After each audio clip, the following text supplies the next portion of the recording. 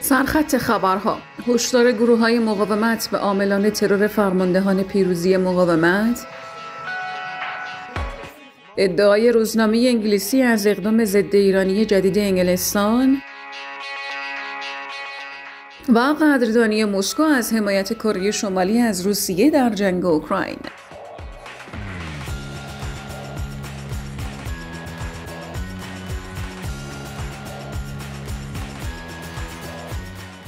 این بسته خبری از پیک خوش اومدید. فراس الیاسر عضو دفتر سیاسی جنبش مقاومتی نوجبای عراق می‌گوید فاجعه ترور فرماندهان شهید پیروزی این پیام را داد که عراق حاکمیتی در سایه حضور و جنایت های آمریکا ندارد و در صورت تأخیر متعمدانه بیشتر در پیگیری پرونده های این شهیدان گزینه های دیگری از سوی مقاومت آماده اجراست و این ضرب العجلی از طرف ما به تمام قاتلان و عاملان ترور فرماندهان شهید پیروزی مقاومت است. الیاسر بعد از ظهر روز سهشنبه 13 دیما در گفتگو با خبرنگار اینا در بغداد بیان می کند که دیدگاه مقاومت اسلامی عراق این است که اشغالگر فقط زبان رویارویی را می‌فهمد و بر سیاسیون به ویژه سیاستمداران شیعه که دولت را در دست دارند واجب است. که صفحه اشغالگری آمریکا را ببندند و دیدگاه مقاومت را جدی بگیرند. زیرا ذائقه و احساس مردمی همهامی هر جریانی است که مقابل اشغالگری بایستد فراس الیاسر میافزاید تا این لحظه هنوز پرونده ترور شهدای مقاومت از سوی ریاست جمهوری نخست وزیر و نهادهای زیرربط عراقی به نتیجه مورد نظر نرسیده است. با وجود اینکه این طرفها اطلاعات کاملی از دست داشتن برخی نیروهای سیاسی و شخصیت‌های شریک جنایت و فعال در دستگاه‌های امنیتی دارند. عضو جنبش نوجبا می‌گوید دستگاه قضایی در دوران نخست وزیری عادل عبدالمهدی پرونده‌ای در این باره تشکیل داد اما نتیجه آن چه شد؟ این در حالی است که درباره این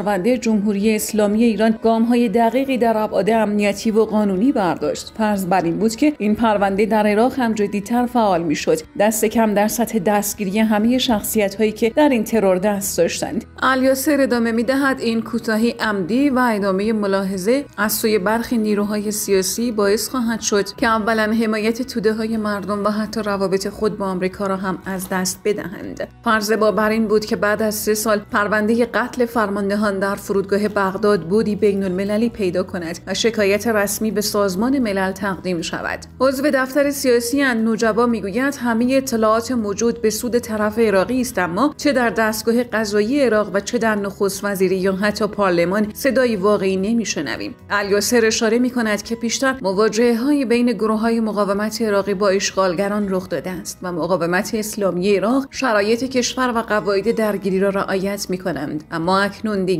چشمانداز و دیدگاه آشکار شده است. حالا دیگر چارچوب هماهنگی مأموریت مدیریت دولت را بر عهده گرفته است و اکنون یکی از مسئولیت های آقای السودانی نخست وزیر عراق باز کردن این پرونده است. وی می‌گوید در غیر این صورت مقاومت اسلامی عراق ام از جنبش نوجبا کتایب حزب الله و کتایب سید الشهدا گامهایی را اتخاذ خواهند کرد که دولت را ملزم و مجبور به فعالسازی این پرونده خواهند کرد.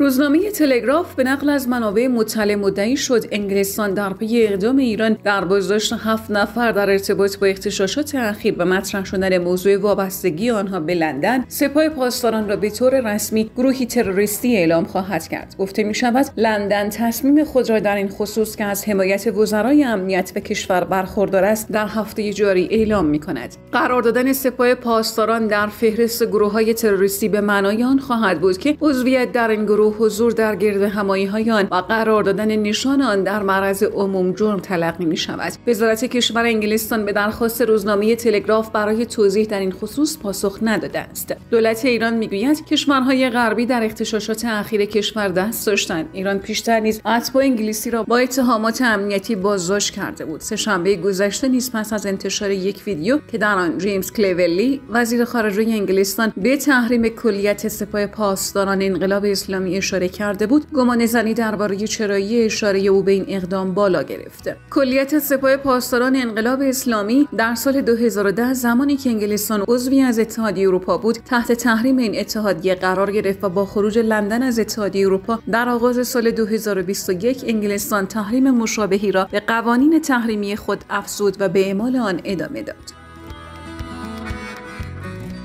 معاون وزیر خارجه روسیه اعلام کرد مسکو از حمایت کره شمالی از عملیات نظامی ویژه روسیه در اوکراین قدردانی می کند و این حقیقت را در توسعه روابط با پیونگیانگ در نظر می گیرد. به گزارش روز سهشنبه ایرنا آندری رودنکو معاون وزیر خارجه روسیه در مصاحبه با تاس که امروز منتشر شد گفت کره شمالی در میان کشورهایی است که قاطعانه از تصمیم فدراسیون روسیه برای انجام عملیات نظامی ویژه در اوکراین و همچنین ادغام زاپروژیا و مناطق خرسون دونسک و در روسیه حمایت کرد. رودنکو اضافه کرد که از این حمایت قدردانی می‌کنیم و بدون شک توسعه همکاری و رابطه دوستی سنتی که در نشست رهبران روسیه و کره شمالی در ولادیوستوک در آوریل 2019 مقرر شد مد نظر قرار می دهیم این دیپلمات بلندپایه روسیه تاکید کرد مسکو و پیونگیانگ رویکردهای مشابهی را در مورد بسیاری از موضوعات بین‌المللی و سطح بالایی از گفتگوهای سیاسی و درک متقابل نشان می‌دهند. روز 13 ژوئیه 2022 کره شمالی استقلال جمهوری های خلق دونسک و لوهانسک را به رسمیت شناخت. به دنبال این موضوع وزارت خارجه اوکراین اعلام کرد که روابط دیپلماتیک با کره شمالی را قطع می کند روز 23 تا 27 سپتامبر جمهوری های خلق لوهانسک و دونسک مناطق زاپروژیا و خرسون برای الحاق به روسیه همه پرسی برگزار کردند که طبق اعلام مسکو اکثریت غالب ساکنین این اراضی حمایت خود را از این اقدام نشان دادند.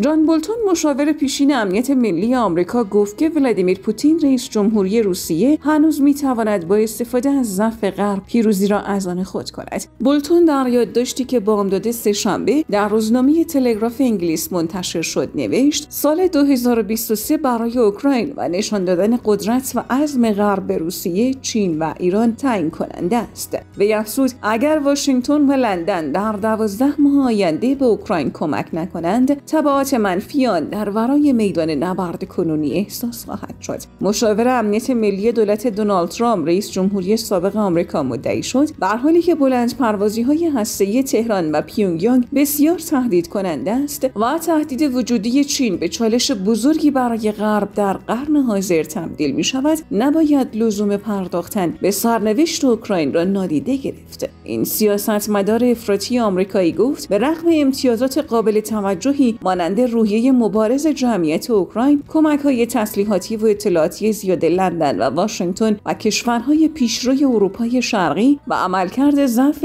نیروهای روسیه در هوا زمین و دریا اقتصاد اوکراین در بدترین ضعف قرار دارد و بخش زیادی از کیف به تلی از خاک تبدیل شده است. ممنونیم از اینکه تا پایان این بسته خبری با پیک همراه بودید. تا ویدیوهای دیگر بدرود.